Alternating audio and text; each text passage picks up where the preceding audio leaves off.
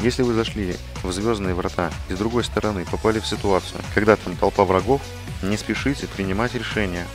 У вас 60 секунд невидимости. Для начала оцените обстановку, состав противника, их корабли, свою позицию.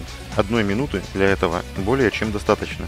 Если ситуация такова, что ваших варп-стабов скорее всего не хватит, чтобы противостоять варп-скрамблерам, то вам нужно лететь обратно к воротам, из которых вы вышли, чтобы отступить. Ни в коем случае не стреляйте, иначе ворота вас не пропустят. Вернувшись в предыдущую систему, не теряйте время зря. Рвите когти. И пусть удача всегда сопутствует вам.